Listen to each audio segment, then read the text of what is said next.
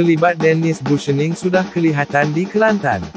STURKTUR Kewangan yang tidak kukuh menyaksikan Kelantan FC hanya memiliki dua pemain import, iaitu Nathaniel Sirimoringo dan Leonardo Rolon untuk baki musim 2023.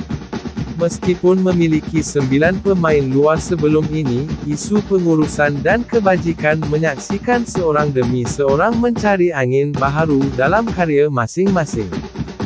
Ketua Jurulatih, Alfredo Vera terpaksa meletakkan harapan cukup tinggi terhadap skuad muda yang tidak mempunyai pengalaman cukup dalam Liga Super. Setakat tiga perlawanan di bawah bimbingan pengendali kelahiran Argentina itu, mereka mempamerkan aksi lebih baik dan bersemangat berbanding awal musim lalu. Berdasarkan khabar angin di media sosial, terdapat kemungkinan bahawa lima pemain import baharu akan dibawa masuk sebelum jendela perpindahan kedua Liga Super ditutup.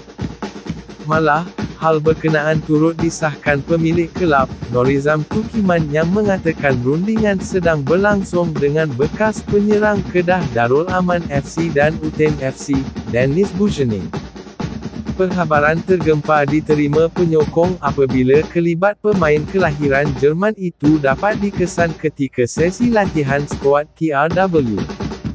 Berdasarkan sekeping foto yang dimuat naik, Dennis dilihat mengenakan jersey bernombor 23 sambil dikawal rapat pemain muda Kelantan FC.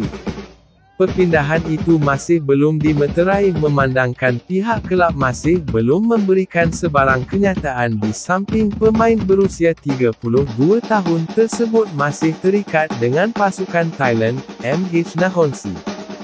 Jika anda suka info-info yang diberikan dalam channel ini, bantu saya dengan menekan butang subscribe dan butang loceng untuk mendapat notifikasi terbaru dalam channel ini. Assalamualaikum, terima kasih, jumpa lagi.